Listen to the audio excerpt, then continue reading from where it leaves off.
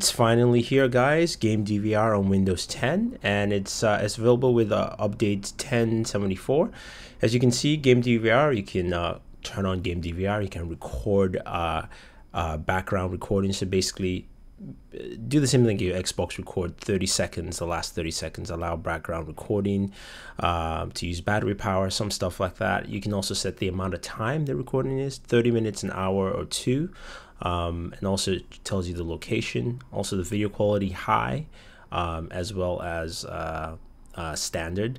And then, of course, you can change your audio quality to the highest 192 kbs uh, for your audio recording. So those are the settings for Game DVR. Again, to access it is very easy. While you're gaming, hit the Windows key and G to bring up the Game DVR dashboard or Windows Alt R to record. Now I'm going to try it out with Steam. I'm going to play a Batman, a Batman Arkham Origins to see if it actually works because it's supposed to work with Steam eventually.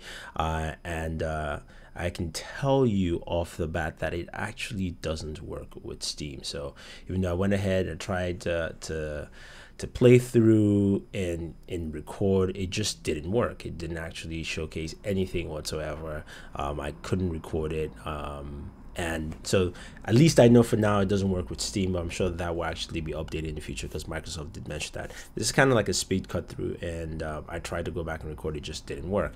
uh, for an Xbox app game like Sonic Dash, it actually works. So I'm going to actually go ahead and play the game using mouse controls.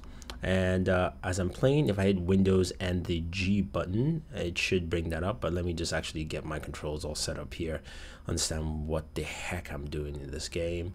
Uh, so I'm going to hit the Windows and G button. As you can see there, and it kind of stops. You can see I can gives me a couple options. I can go back into the settings, at least some of the settings there, customize a few things, um, and I'll I could go back to the uh, game DVR full settings.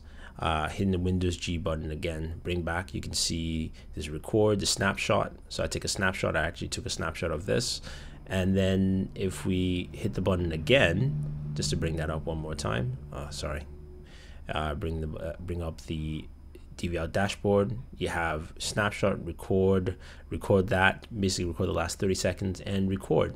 And this will record as long as that time limit I set as an hour or two. So I'm going to game here for a while and um, and then what I'll do is I'll actually cut this short and I'll add the the uh, recording at the end of this uh, video. So you, it's not it's not a hard thing to do. It's really easy, especially just hitting the Windows and G button to bring up the game DVR. A nice functionality. Hopefully that would expand, of course, to Steam and other uh, game platforms so you can actually record. But for now, that just didn't work, or maybe it's just something I'm having an issue with my system.